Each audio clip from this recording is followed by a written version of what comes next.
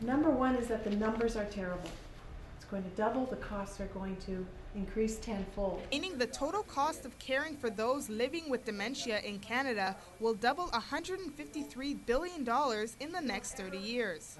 That's according to the report by the Alzheimer's Society. The number of Canadian cases of Alzheimer's and other forms of dementia is expected to reach almost 258,000 by the year 2038.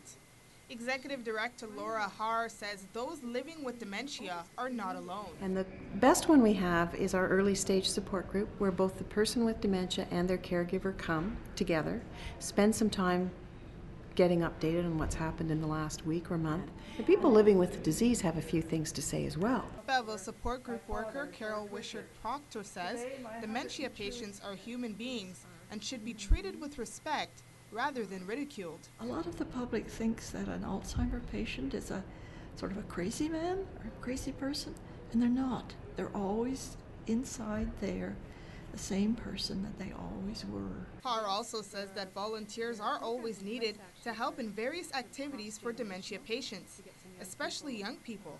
Often, young people, very young people, communicate very well with people with dementia. They're on a very basic level.